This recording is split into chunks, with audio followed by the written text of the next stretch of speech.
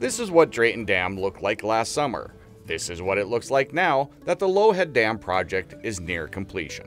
We really are modifying these dams for two purposes. Public safety, to reduce hydraulic roller and reduce drownings in these areas. From an environmentally standpoint, we are trying to increase river connectivity. Replace fill material with large rock and create steps for those fish to be able to migrate up.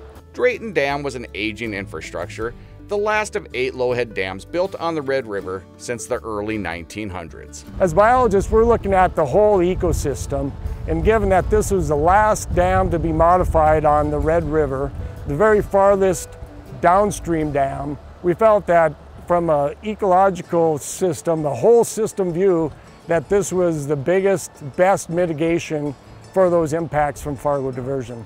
Before this project took place, the dam was a barrier to fish. Connecting the upstream with the downstream, it allows various fish species to now cross and, and move further upstream um, at, at, more times of the year and, and on more years when there's low flow instead of high flow. It's really allowing catfish, lake sturgeon, and all species really in the river to fulfill their life history, to fulfill what they are programmed by nature to do, to move upstream into those tributaries, to reproduce, and, and, and, spawn. The rocks were strategically placed to create faster and slower currents where fish can move through or rest. Drayton Dam has always been a very um, popular fishing area. People would fish right below the dam.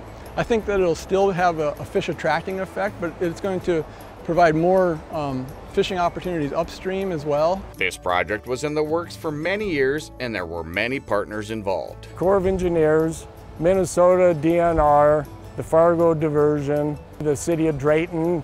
This is Mike Anderson in the North Dakota Outdoors.